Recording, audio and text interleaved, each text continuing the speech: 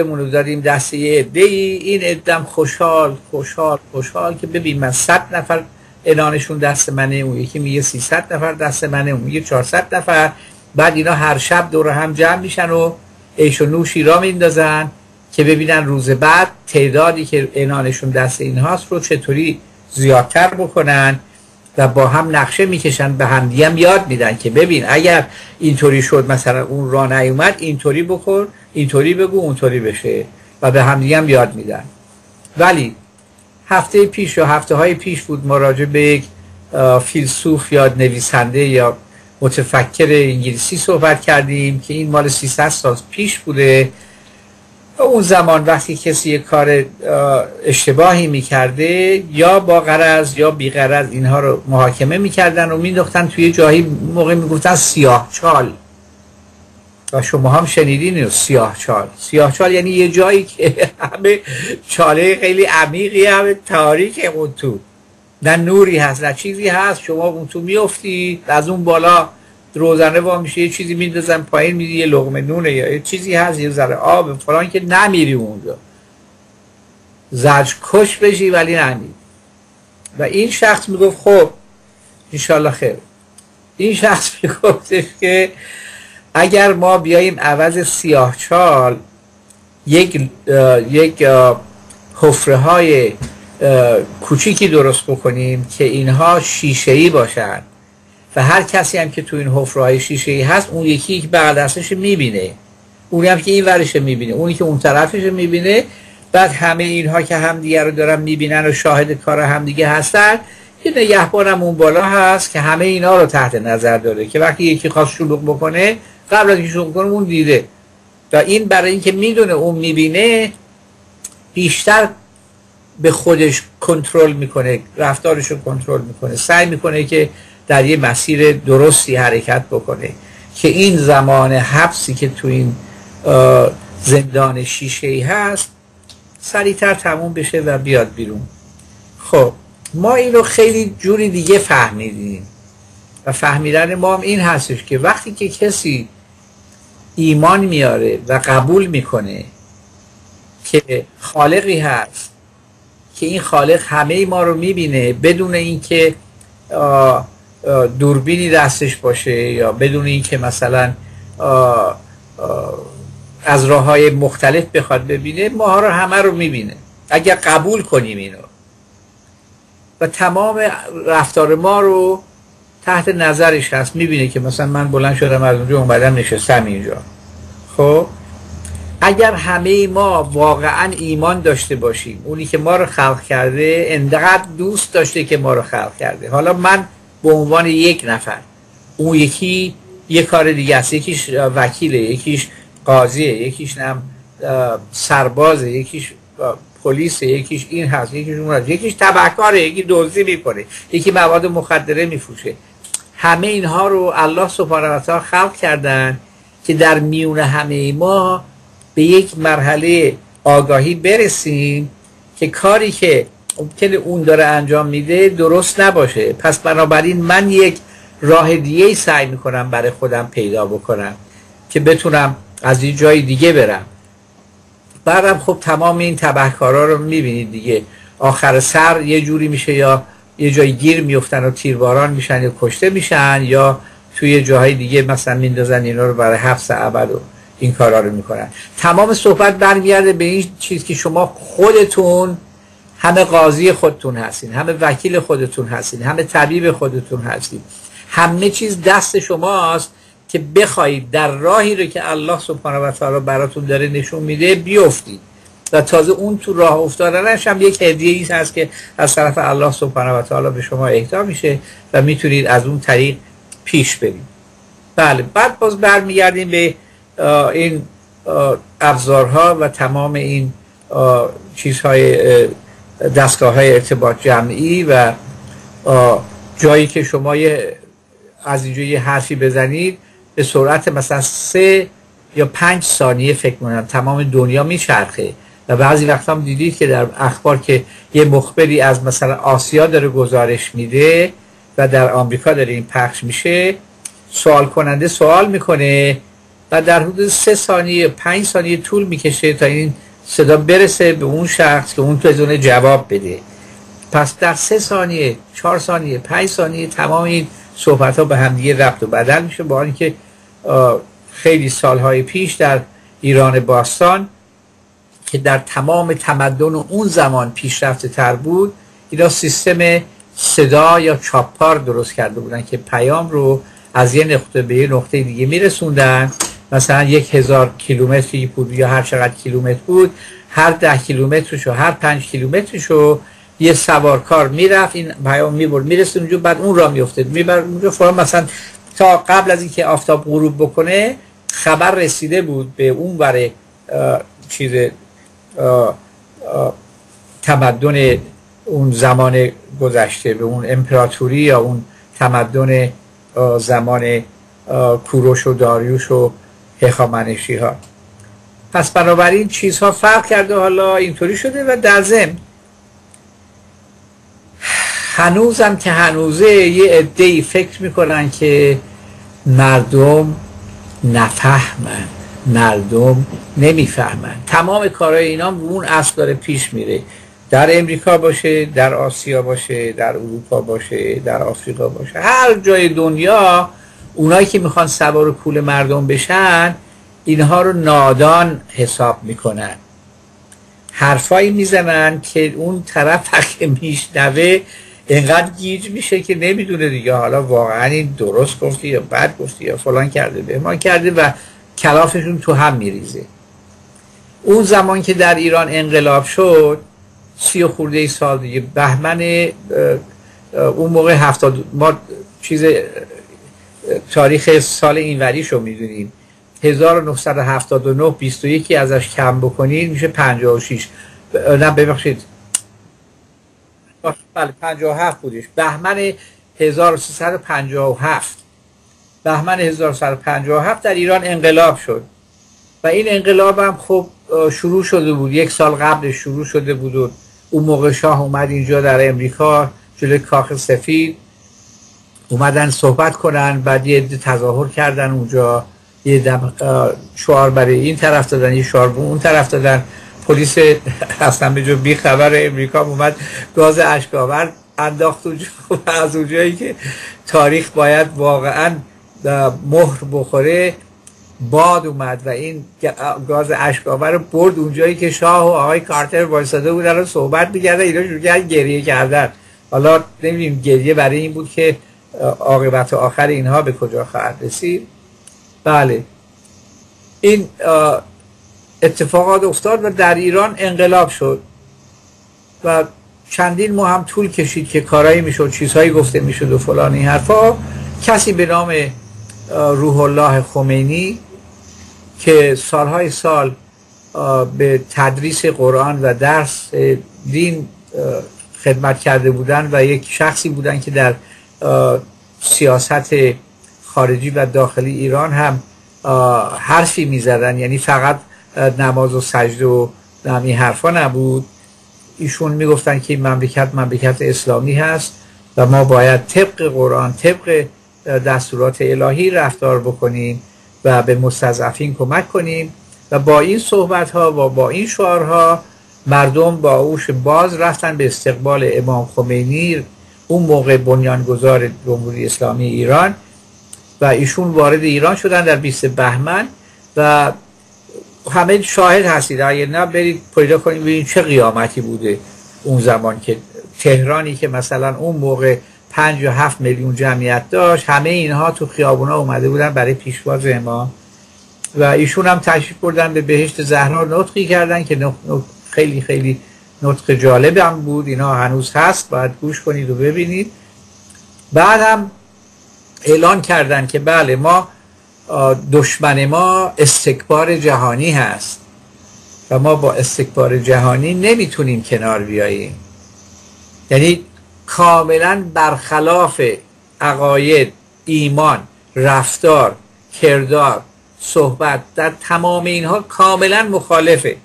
هفته پیشم ما در برنامه گفتیم که چطور امکان داره یک مملکتی که دینش اسلام هست و می‌تونه با این دین که در چیز همه دین های دیگر رو در بر خودش داره همه دین موسی رو داره همه دین عیسی رو داره و حضرت محمد هم آخرین پیامبر اسلام هستن و قرآن هست.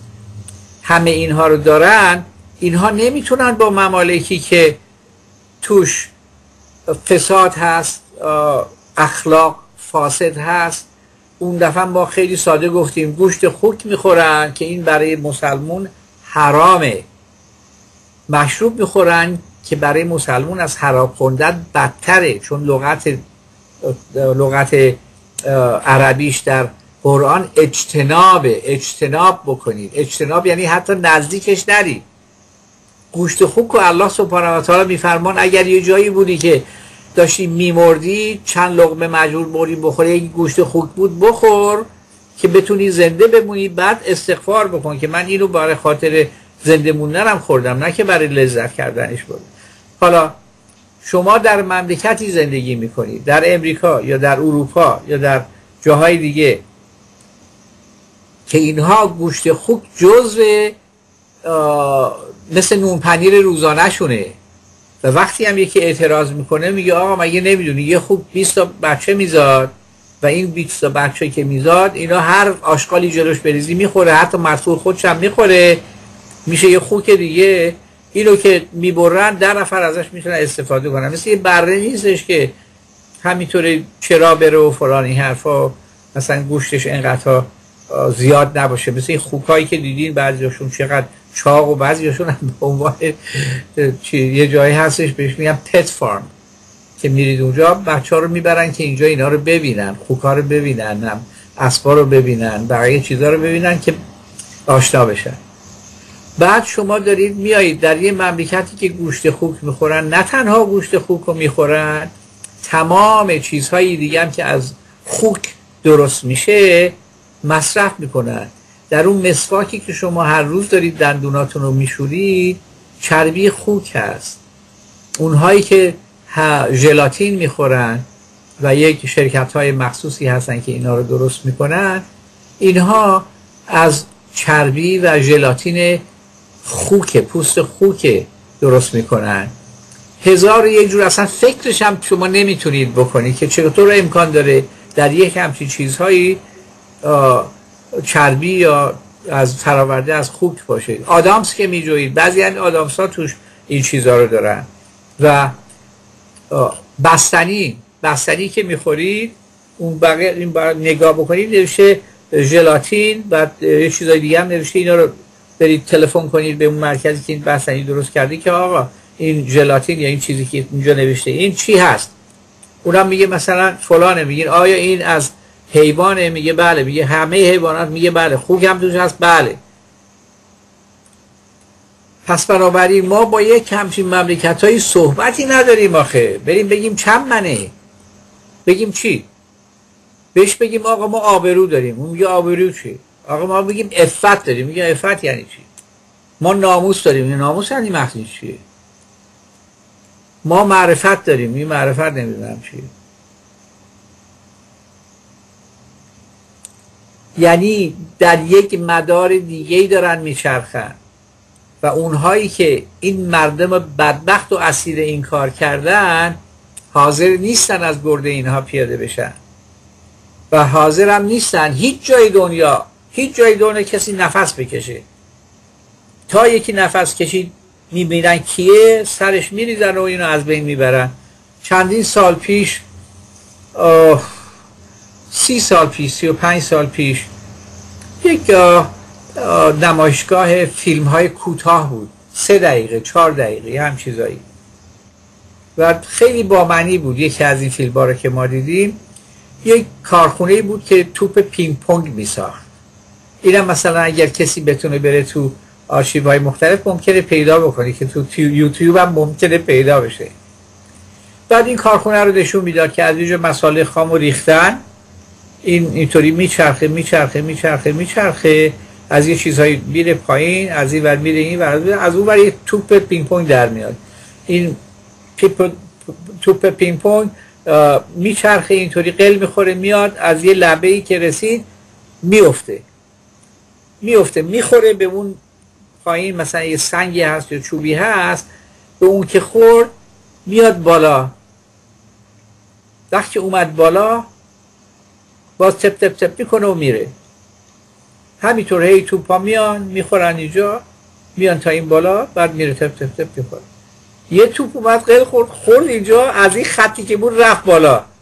یه ذره که رفت بالا تمام سیستم این کارخونه به در اومد. شیرای آجی با قیامت قیامت قیامت. اومدن اون توپی رو که از اینجا رفته بود بالاتر گرفتنش. بردنش یه جا انداختنش توی چیزی. خوردش کردن خوردش کردن خوردش کردن خوردش کردن ریختن توی بقیه چیزهای دیگه. بعد باز دوباره خبری نبود. همه تو قل میخوردن میومدن میافتادن. تا یه مس میاد بالا بعد میافتاد میرن یه پنج دقیقه دیگه باز دوباره یک توپ دیگه این کارو کرد. این توپ خورد از اون جایی که نباید بره بالا رفت بالا. تا رفت بالا قیامت شد باز دوباره این کارخونه. این فیلم رو سی سال چه سال پیش دیدیم خیلی خودمونی اون موقع داشتن می‌گفتن که آقایون حواستون چه باشه؟ این توبه میری اون توبه میری ها نیستش؟ اگر کمترین پاتون رو خطا بکنید دست از پا خطا بکنید. معلوم میشه و شما رو می‌برن یه جایی که بهتون یاد بدن که چیکار باید بکنید چیکار نکنید. در بعضی اجتماع ها می‌برن مردم رو کتک می‌زنن. حالا این امریکایی ها اون زمان که عراق حمله کرده بودن یه در فرستاده بودن اونجا می‌گرفتن میبردن کتک می‌زنن و این فجایشون هم از یه جایی به نام ابو غریب در اومد و همه دیدی. جاهای دیگه هم این کارا رو می‌کنن. بعضی اجتماعات هم افرادی توش هستن که به سیستم و این اون مربوط نیستن به یه شخص مربوطن. این شخص هم لوتی لات و لوت این حرفایی هستن و در ضمن لوتی و لات اینا لغت هایی هستش که از قوم لوط اومده. قوم لوط هم افراد خیلی نابکاری بودن که الله سبحانه و تعالی اینها رو نابود کرد برای کارهای زشتی که انجام می‌دادن. بعد این افراد در بعضی محله ها هستن در بعضی شهرها هستن در بعضی ممالک هستن که برای خودشون فکر می‌کنن کسی هستن و کسی اگه یه حرفی بزنه میفرستن یه در که چاک چونه شدم فلان کن و یخش رو پاره بکنه و یه فصل کتک. یه فصل کتکش بزن روش کم کنه. بچه پر رو شده. یادتون باشه این داره تکرار میشه. در ایران داره تکرار میشه. در این سیستمی که در حال حاضر آقای روحانی رئیس جمهورش هستن. و صحبت هایی که از ایشون داره میاد واقعا یک مقدار چیزه. یعنی آدم فکر می‌کنه که آیا واقعا ایشون این حرف رو داره واقعا می‌زنه یا داره شوخی می‌کنه؟ بله بفرمایید. خیلی نگران کننده هست. بله خیلی نگران کننده است و ما دوست داریم این نوار 6 7 دقیقه یا هر چند دقیقه است و اگر لطف فرمایید حالا بذارید که ما بقیه صحبت رو بعد از این نوار بکنیم ان نه دقیقه مرسی. آیا من می‌تونم بشنوم؟ مرسی مرسی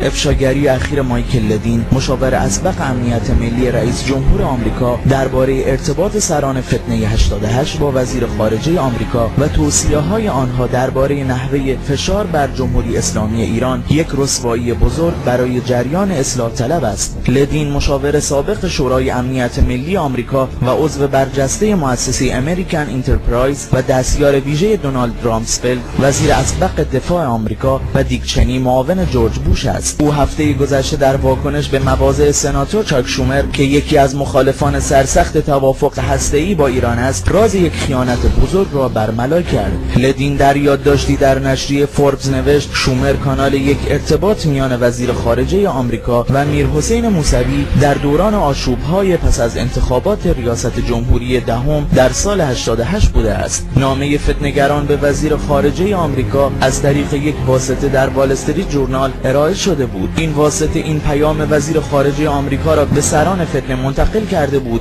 که دقیقا چه باید کرد و چه نباید کرد. لدین در حمایت از توافق هسته‌ای این نامه را در واکنش به مخالفت سناتور چاک شومر با این توافق هسته‌ای افشا کرد. در پاسخ سران فتنه به وزیر خارجه آمریکا آنها تاکید کردند که باید تحریم ها علیه ایران تشدید شود. در این نامه سران فتنه به آمریکایی ها گفتند هر گونه توافق هسته‌ای با دولت دهم منجر به حذف جریان فتنه خواهد شد. به همین خاطر آنها از آمریکایی ها خواستند تحریم های ایران را تشدید کنند. نکته قابل تعمل این که تحریم های بانکی و نفتی پس از این نامنگاری ها انجام شد. در واقع در حالی که باراک اوباما دو روز قبل از برگزاری انتخابات ریاست جمهوری دهم به رهبر انقلاب نامه نوشت و در این نامه آمادگی خود را برای حل موضوع هسته ای اعلام کرد جریان فتنه تلاش کرد با رفتار خائنانه خود تمام معادلات را برهم و زمینه را برای ناامنی اقتصادی کشور و تشدید تحریم ها علیه ایران تغییر دهد. این یک خیانت بزرگ و بیشرمانه است. اسناد منتشر شده توسط لدین جریان اصلاح طلبی را متهم به یک خیانت کثیف می کند آنها اکنون متهم هستند برای بقا در مناسبات سیاسی نقش نفوذی آمریکا را در کشور ایفا کرده و برای رسیدن به اهداف خود حتی از فشار اقتصادی بر مردم کشور خود نیز نگذرند. البته قرینه این نامنگاری ها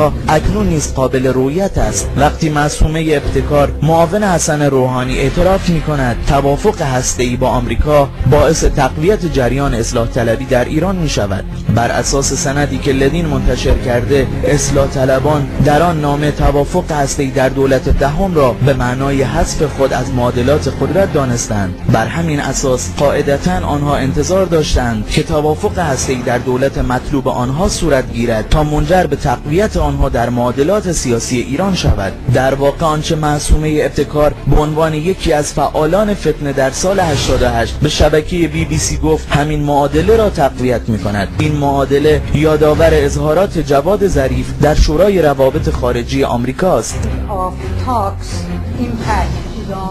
foreign policy and it's uh, have. I will spare you with the impact on domestic policy because I know it's not your portfolio.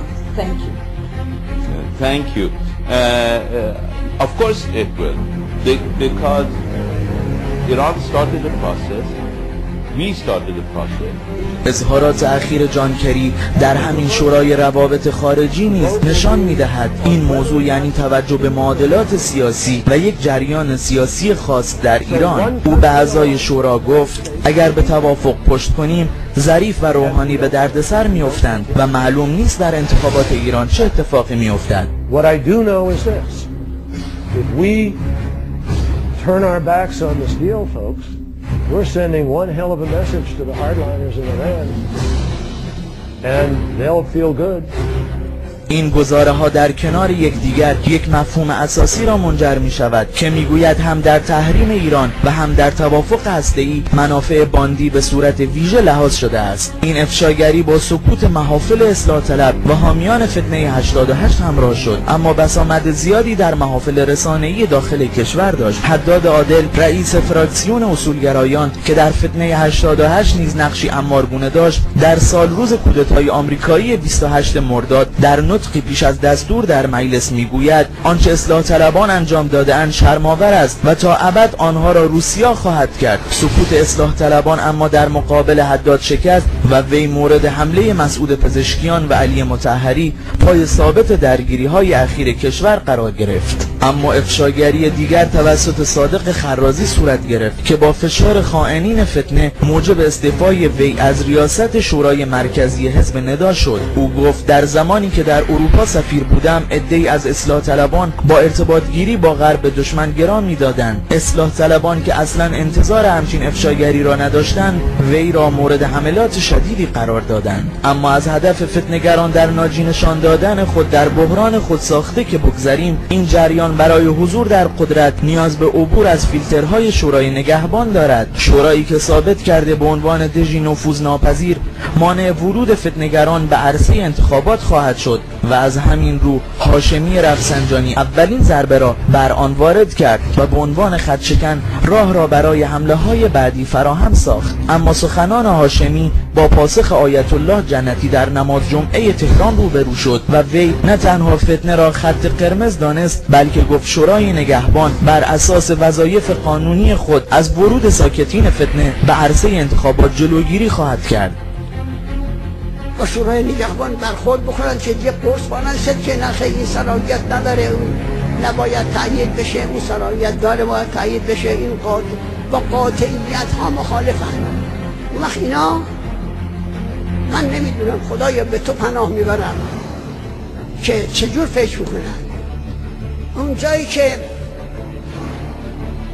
به نفعشون نیست میگن تقلب شده همینجوری در 88 گفتم. تقلب شده. بدون اینکه بیارن دلیل بیارن و دلیل چی از کجا میگه تقلب شده؟ بیار این دلیلت را عرضه بکن به مردم عرضه بکن به مقامات عرضه بکن به رهبری عرضه بکن. هیچی همین تقلب شده. خب اون بلوا رو به پا کردن بعد یه جای دیگه که به نفعشون تمام شده به جای اینکه تقدیر کنن تشکر بکنن و خودشون می‌گفتن که این دموکراسی ترین انتخاباتونه. بعد میگن که شورای نگهبان و دستگاه امنیتی اینا می‌خواستن سلامت انتخاب را انتخابات را مخدوش کنن ولی نتونستن. از مردم ترسیدن. خدا انصاف کجاست اما حمله بعد به شورای نگهبان از سوی رئیس جمهور طراحی شد تا نشان دهد واقعا آنچه پیش از همه برای وی اهمیت دارد برطرف شدن تحریم ها نیست بلکه انتخابات پیش روز که آینده کشور را رقم خواهد زد و حضور در قدرت را برای وی تضمین خواهد کرد. این چینش پازل نشان از برنامه ریزی آمریکا و غربگرایان برای نفوذ حداقل ده سال از طریق صندوق های رأی بر ارکان قدرت در کشور ایران و مهار ایران از درون و به تبع آن مهار سرپنجه های قدرت در جمهوری اسلامی حکایت دارد. جمله فوق به این معناست که دشمن دیگر با پاره کردن عکس امام وارد نمی شود بلکه از طریق صندوق های رأی و با بازی با راهبردهای دو قطبی سازی معیشت حقوق بشر معیشت موشکی و معیشت خط مقاومت در تلاش است تا انقلاب اسلامی دست از آرمانهای خود بردارد. با همین منطق می‌توان دریافت نباید انتظار داشت به زودی مشکلات اقتصادی مردم از رهاورد توافق هسته‌ای حل شود و ملت اگر بخواهد چشم به دست دشمن بدوزد حالا حالاها باید باج داده و به خواسته های نامشروع قبل پاسخ مثبت بدهد.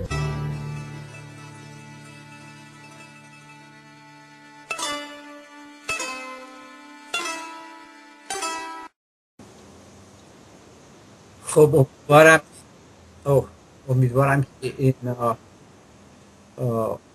صدا در میگرده امیدوارم که این نه دقیقه تماشا کردید و و خیلی جالب صحبت ها شد اینجا. چطور این افرادی که میگن اصلاحگرا فکر کنم اصلاحگرایان؟ بله اصلاح طلبان. البته ما استغفر الله و اصلاح طلب کیه؟ اصلاح طلب چیه؟ چی چی رو دارن طلب می‌کنن؟ چه اصلاحی رو دارن طلب می‌کنن؟ آیا قرتی بازی اصلاح طلبیه؟ آیا ماشین های خیلی گرون قیمت سوار شدن اصلاح طلبیه؟ آیا توی این خونه های خیلی شیک و پیک و رم فلان و بهمان اینا اصلاح طلبیه. ما هنوز نفهمیدیم اصلاح طلب یعنی چی؟ یکی بیاد به ما بگه اصلاح طلب یعنی این اصلاح طلب یعنی اون اصلاح طلب یعنی این اصلاح طلب یعنی آقا برو تو خیابون هر کار میخوایی انجام بده. بابا اینجا مملکت اسلامیه. هر مملکتی هر محله هر خانوادهی برای خودش یه قانونی داره یه روشی داره یه رفتاری داره. تو همین مملکتی که تو زندگی می‌کنیم اینجا که میگید همه آزاد هستن آزاد هستن حق داری یه روز بدون کچلوار بدون لباس بدون هیچ چیزی تنت برو سر کار تو اداره ببین چه خبرت می‌کنن. اگه آزادی نیست؟ بگو من آزادم. اومدم سر کار اینطوری اومدم. یه غلط کردی. این اشتباه رو به بحران میندازه. به هم می‌زنه نظم اشتباه رو. قانون هایی که اینجا هست برای حفظ نظم اجتماع هست. وگرنه خب اگر اینجا قانون نداشته باشیم هر کسی هر کاری خواد دلش می‌کنه شب می‌خواد خونه خودش بخوابه یا بخواد بره در خونه همسایه رو نزده وارد بشه بره تو بخ... طرف بگیره بخوابه. اصلاح طلب یعنی چی؟ بی بندوباری یعنی چی؟ و این آقایون هم خب بالاخره از زمان گذشته تا حالا اینا همه نقشه کشیدن هر جوری بوده رفتن اینور اونور. سر سپردن به عده‌ای به عده‌ای وعده دادن به عده‌ای قول و قرار دادن که بله شما ما هر چیزی بگید ما می‌کنیم که بلکه ما عنان قدرت رو در ایران به دست بیاریم. مثلا تا ده سال آینده نشانی از جمهوری اسلامی ایرانی دیگه وجود نداره.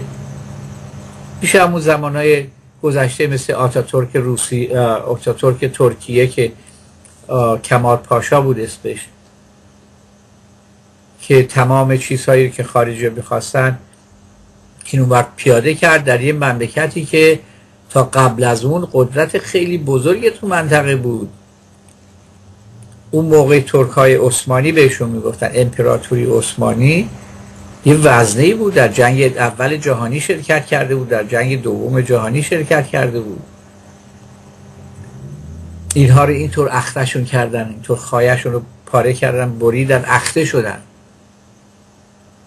یعنی از خودشون دیگه اثری نداشته باشن. اینا می‌خوان همین بلا رو سر ایرانیا بیارن همونطور هم که رهبر جمهوری اسلامی ایران امام خامنه ای چند وقت پیشا گفتن کور خوندید و ایشون هم در یک فضایی دارد اداره می‌کنن مملکت رو مدیریت مملکت رو دارن اداره می‌کنن که خاص مردم رو دارن پشتیبانی می‌کنن. خاص مردم. 75 میلیون جمعیت داره ایران. از این 75 میلیون جمعیت کدومشون هستن؟ چند نفرشون هستن که می‌خوان بی بند و باری بکنن و قرتی بازی در بیارن؟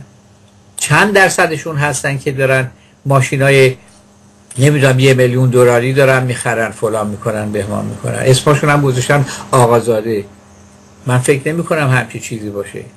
اون کسی که آقا هست بچهش هیچ وقت نمیره ماشین یه میلیون دلاری بخره جایی که این یه میلیون دلار می‌تونه کار ایجاد کنه تو مملکت. می‌تونه دست یه چند نفری رو بگیره. به کار اینا رو واداشته بکنه. چیزای کوچولو کوچولو رو بذارید بغل دست هم و استقلال خودتون رو حفظ کنید. نه که بگید بله خب حالا ما آه در زم یه چیزی هم خبری هم اینجا هستش. وقت داریم 43 بله. اینجا آقای رئیس جمهور ما فرمودن که چیزی امضا نکردیم که برای تصویب به مجلس بفرستیم. اینا برای ما تازگی داشت. رئیس جمهور جمهوری اسلامی ایران آقای دکتر حسن روحانی. توافقی که در وین به دست آمد و از آنجا توسط دولت و آمده آها توافقی که در وین به دست آمده. از آنجا که توسط دولت امضا نشده نیازی به تصویب در مجلس نداره همتون خیالتون راحت بشه برید به کارتون. ما این توافق رو به دست آوردیم. چیزی رو ما امضا نکردیم. طبق قانون اساسی مجلس حق داشته باشه بره ببینه چی بوده. ما امضا نکردیم. اینو به دست آوردیم. ببینید با چه کسایی دارید روبرو میشید. ای ملت. ای مردمی که در جمهوری اسلامی ایران دارید رأی می‌دید. رأی شما مهمه. ببینید این افرادی که اومدن سر کال چی دارن میگن؟ توافقی که در وین به دست آمده از آنجا که توسط دولت امضا نشده به تصویب مجلس احتیاجی نداره. چه مجلسی و حالی که مجلس مرکز قدرت مردم ایران جمهوری اسلامی ایران مجلسه. مجلسه که تصمیم می‌گیره چی بشه چی نباشه هر اطلاعاتی هست هر چیزی هست و باید بیارید مجلس. مجلس باید تصویب بکنه. تصویب بکرد میره به امضای رئیس جمهور می‌رسه. و رئیس جمهور هم با امضا نکردیم. راست هم میگه. خب برای چیزی تصویب نشده که ایشون امضا بکنه. اینم درست داره میگه. بله روز گذشته در نشستی که خبری که با حضور خبرنگار داخلی خارجی در جایی بودن دولت ایشون فرمودن که دولت یازدهم به نیمه راه خود رسیده و دو سال از این از این افتخار برای دولت که مردم با مسئولیت را به این دولت سپردن میگذرد. خب بدبختی مردمی که مسئولیت رو سپردن به اینا اگر من بخواهم این نیمه راه را با یک جمله تبیین کنم این نیمه راه برای ایجاد آرامش ثبات در بخش های مختلف این جامعه بوده و ما از یک دولتی که با التحاب دولتی که با مشکلات فراوان در بخش وحدت اجتماعی در سیاست خارجی در مسائل اقتصادی روبرو بوده حرکت کردیم و به سمت یک دولت مستقر. با ثبات دولتی که همه تلاش, تلاش خود را با کاربرد در قدم اول در سیاست داخلی زخم جدیدی را ایجاد نکند و بر زخمای گذشته مرهمی بکند. بله ایشون گفتن که ما هر صحبتی می‌کنیم هیچ کس حق نداره حرفی بزنه. شما چی کاره هستی که می‌خوای حرف بزنی اصلا؟ حق حرف زدن نداری. سخنرانی ایشون رو من اجازه نمیدم ایشون گفت. کسی بخواد حرفی بزنه.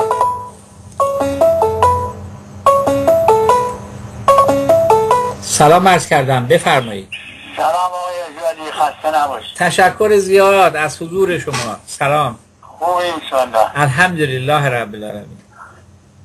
آقای اجوالی حتما اخبار هفته گذشته گوش کردی چقدر آواره تو کامیون کشته شد. بله بله درسته. کاملا بله. صحیح.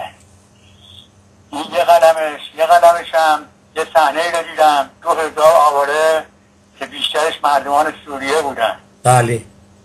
که وارد مجارستان شده بودن با چه زحمتی و چه بله. مشقتی. درسته. اینها. یه بچه ای رو نشون می‌داد چهار ساله. آخه.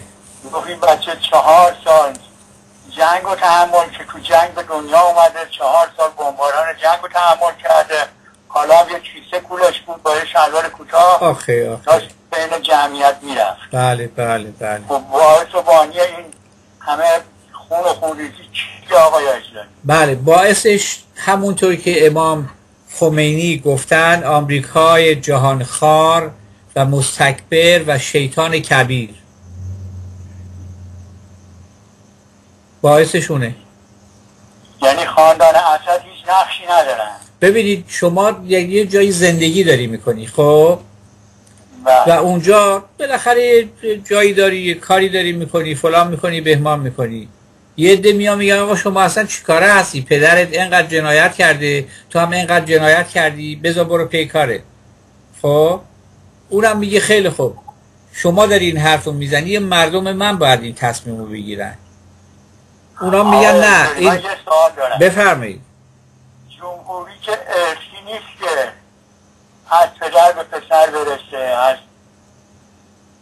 جمهوری انتخابات چهار سال یه دفعه تو همه جای دنیا معقولش تو خود جمهوری اسلامی رفت ایران هم چهار سال یه بار انتخابات ریاست جمهوری میشه. درسته. نمیشه که یه پدر پسر بیان 45 سال جمهوری جمهور باشن که. درسته. کاملا صحیحه این گندش شما شفافترین آب و یه جا نگه داری بعد 48 ساعت مشکل پیدا می‌کنه. کاملا صحیحه. من با حرف شما کاملا کاملا. موافقم. ولی آخه امریکا و اسرائیل و نمی‌دونم انگلیس و نمی‌دونم. هر جنایتکاری که شما فکر می‌کنی اونا دست دارن گوره به در اونا. ولی این پدر پسر 45 سال بستشون نیست خیلی خوب. صحبت شما هست که این بحثشون نیست. اجازه یاسر عرفات تو فلسطین مگه رهبر آزادی بخش فلسطین نبود؟ بله. می‌گفت من این کاره آقا، هستم. مگه بودجهشم از تقبلی این اون تأمین نمی‌کرد؟ بله همه پول می‌دادن. از خارج بهش پول خیلی می‌دادن خوب. چطور وقتی مرد 11 میلیون دلار پول تو حساب شخصیش تو اروپا بود؟ خیلی خوب. اونایی که پول بهش دادن بعد بیان جواب بدن. خب نه می‌خوام بگم که این ملت های بیچاره همیشه باید شو یه مش آدم های نه خیر نه خیر. فرصت طلب و جورگرو نه خیر نه خیر. ببینید شما یادتون میاد زمانهای گذشته در تهران یا شهرستان ها تو محله ها یک بله. گردن کلوف بود تو محله درسته؟ بله یه باشگاه هر محلی داشت. بله این این گردن کلفت برای خاطر اون مقام خودش یا برای خاطر قدرت خودش یا اعتمادی که مردم بهش داشتن این گردن کلفت اون محله شده بود خب؟ نه و هر کسی هم هر بله. اختلافی داشت می‌رفت پیش این گردن کلفته اونم اون دو بله. نفر یا هر نفر اختلاف میشون اونجا می‌گفت خب خالی این کار فلان فلان اینو بذار اینجا اونو بذار یک چیزا به ما بدید و برید پی کارتون. و اینطوری این این رفتار ادامه پیدا می‌کرد. خب؟ بله. حالا اینو بکنید یه ذره بزرگتر. بزرگتر؟ اون گردن کلوب اون لات محله هیچ وقت آزارش به زن بچه همون محل نمی‌رسید. درسته نمی‌رسید که ما تو تهران می‌دیدیم. بله. هیچ وقت آزارش به زن بچه هم محلیش نمی‌رسید بله. اگر می‌رفت اگر یکی هم میامد بیرون میامد می‌خواست مزاحم زن بچه مردم بشه یا یه ضعیف من, من محله بشه درست. می‌رفت به هواش در میامد درسته. بله بله. جا- چاقو کشی می‌کردن و این کارا رو می‌کردن. من کاملا اگر می‌خواست لات بازیگر در بیاره می‌رفت محله های دیگه. درست. میرم جای دیگه. ولی آها. میرم جای دیگه. خب. بله. آره. کاملا. من آره. ببینید شما اصل قضیه رو پیدا بکنید. اصل فرعیاتش رو قضیه آقا اینه که هر رهبری فکر می‌کنه که مادام الان باید بمونه. میشه حکایت حکایت همین سوریهی که الان آثار باستانیش همه نابود شد. صحیح. ساختموناش همه نابود شد. صحیح. هزینه باید بعد از اگر این آقای فشارکی بره فشار اسد بره حکومت های فشارکیه دیگه اینا حکومت نیست حکومت فشارکیه. بله بله بله. منتخب مردم نیستن اینا. نه دیگه. با کودتا اومد رو کار سی سال حکومت کرد. این هم الان 15 سال گذشته الان. بله. این بره کنار معلوم میشه چه هزینه ای رو باید صرف کنی که تازه این مملکت قابل سکونت بشه. حالا اون آثاری که از بین رفته دیگه بماند بله. من یادم نمیره چهار سال پیش که این زمزمه چیز شروع شده بودش که بله چون در مصر اینا دارن زمام امور دارن به دست می‌گیرن یه آقای به نام مرسی داره میاد. بعد اونو بله. گرفتن کردنش تو هلفتونی یه آقای به نام سیسیان نشسته اونجا. حالا بعد این آقای اثر اینطور که من شنیدم البته خب شما اطلاعاتون ممکنه بیشتر باشه. ایشون گفتن ما می‌خوایم انتخابات داشته باشیم اینجا. مردم رأی دادن مردم به ایشون رأی دادن. حالا شما میگید رأیشون رو قبول ندارید؟ خب نکنید. ولی آقای اگر اجلالی آقای اجلالی یه سوال دارم. بفرمایید. انتخابات برگزار می‌کرد. 99 درصد رای می آورد صحیح. درست بود؟ نه نه من به درست و غلطیش کار ندارم. اینم انتخابات اینم مثل انتخابات صدام حسینه. چرا چرا آمریکا چرا انگلیس چرا اینم مثل رابرت مقابل میمونه. بله چرا کسی بهش حرفی نمی‌زد؟ رابرت مقابل هنوزم هست. ایدی امین یادته؟ بله که یادم هست. خدا حفظت کنه خدا حفظت کنه. اینم انتخابات. برگزار. بله وقتی که روشو زیاد کرد اومدن انداختنش تو رفت عربستان اونجا زندگی می‌کنه یا فوت کرده همینه ببین برادر عزیز من ما صحبتی که می‌کنیم اینجا این هستش که حق بله. در باطل پیروز میشه ولی. ولی اگر شما بخواهید از بیرون بیایید سعی کنی در بین مردم اختلافات بندازی همونطور که در انتخابات دوره دوم آقای احمدی نژاد در ایران اومدن گفتن این رأی تقلبیه اینها انتخابات رو دزدیدن فلان کردن بهمان کردن تا حالا هم که هست یه ده هنوز این حرف رو می‌زنن خب حالا یکی بیاد بگه آقا این حرف رو کی آوردن؟ همین نه دقیقه پیش که ما این پخش کردیم این آقای لدین و بقیه آقای آقای اجلالی در ایران انتخابات دزدی نشد احتمالا جابجا شد یعنی چی؟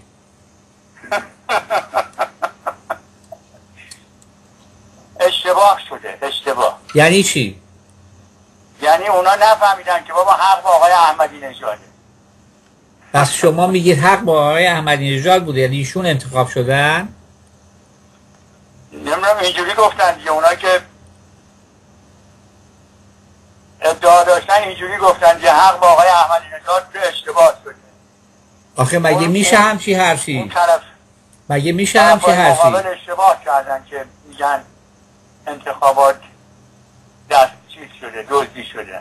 خب بس شما اونو قبول دارید که انتخابات دزدی شده بوده؟ من اونجا نبودم من نمی‌دونم چی بوده چی نبوده. من الان مشکلی با انتخابات ایران ندارم. من این کشت و کشتار بی خوبی رحمانه که در منطقه حاکمه بله. تو یمن تو سوریه تو بله. عراق بله. بله. نمی‌دونم لبنان. بله بله. اینها بله. باعثبانیش چیه؟ بله باس و بانیش استکبار جهانیه شیطان کبیره. شما من نمی‌دونم این آقایون داعش هست یا آی اس ال هست یا هرچی هست امریکا میگه که ما نفهمیدیم اینا از کجا اومدن. شما اگه اینو باور می‌کنین من به شما بگم که اون جن و پری هم هر شب خدمت شما دارن میاد. پس خب، من اصلا اینا خودش ساخته و پرداخته به قول من جایزان ناپلون بریتانیای کبیره. خیلی کبیر دیگه نیستش کبیرش رفت. بریتانیا هم نیست یه انگلیس خالی لخت و اوریون مونده اون وسط. بله. بله پس بنابراین چطوری میشه؟ داعش یا آیس فلان با ارتبانیش من قبول دارم که همه اونا. چطور اونا می‌تونن بیان از مناطق از صاف سارگی و از بیسوادی ما ملت ها استفاده می‌کنن که میانی بلا رو سر ما میارن؟ برای اینکه ما اجازه میدیم. برای اینکه ما من اجازه میدیم. بله برای اینکه بله. ما البته استاد بنده. استغفر الله ما بزرگ بنده. استغفر ولی می‌دونم با اسپانیش چیه. ولی چرا ما باید سطح آگاهی و فرهنگمون و بینشمون و خردمون اون مرحله نرسه که نذاریم اینا بیان؟ بله. من فقط یه جمله برای آخر برنامه بگم چون ما سه دقیقه بیشتر بله. به امتحان برنامه نمونده و اون این هستش که آقای رئیس جمهور ما که در حال حاضر آقای دکتر آه، حسن روحانی. هستند با پنجاه درصد و سه دهم درصد انتخاب شدن یعنی چی؟ بله. یعنی از نصف جمعیت رأی بهشون دادن نصف جمعیت ندادن حالا بله. اینجا دارن میگن چرا امضا نکردیم برای اینکه تصویب به مجلس نرفته یعنی چی ایشون میگن که ما چیزی رو که امضا نکردیم احتیاج به رأی مجلس نداره با حال این مجلس صدای مردمه صدای مردم ایرانه. ایشون داره میگه که ببین ما یه توافق به دست آوردیم. چیزی رو هم امضا نکردیم. خوب گوش می‌کنی یعنی چی؟ در این دور زمانه همین الانه که من و شما داریم صحبت می‌کنیم این حرف رو زدن ایشون. که ما توافق به دست بله آوردیم شنیدم شنیدم قشنگ شنیدم صحبت آقای و امضا من چیزی برای امضا کردن نکردم امضا نکردیم که بدیم مجلس هم اینو نگاه کنه. پس ما احتیاج به مجلس نداریم. حالا حق داری حرفی بزن روحانی آقای اجلالی جانم. ایشون یه صحبتی کرد گفت که قراردادهای بین المللی رو در گذشته امضا شده ایران به عنوان متعهد به عنوان عضو اون هیئت عضو سازمان ملل عضو نمی‌دونم چی چی اتمی اینا بوده رفته اونجا شده و امضا کرده این تعهدات. بله. کاملا صحیحه. این کاملا صحیحه. وقتی اومدن گفتن که شماها نباید این کارا رو بکنید ایران در زمان شاه امضا کرد که بله نمی کنیم ولی دسترسی به صنعت اتم می‌خوایم داشته باشیم. اینا هم گفتن زکی نمی‌تونید وقتمون تمومه. یک دونه تشکر همچنین هفته دیگه یه ذره زودتر بیاین حرف زیاد داریم انشالله. انشالله تشکر می‌کنم از حضور شما. مرحمت عالی زر انشالله تا هفته آینده مرحمت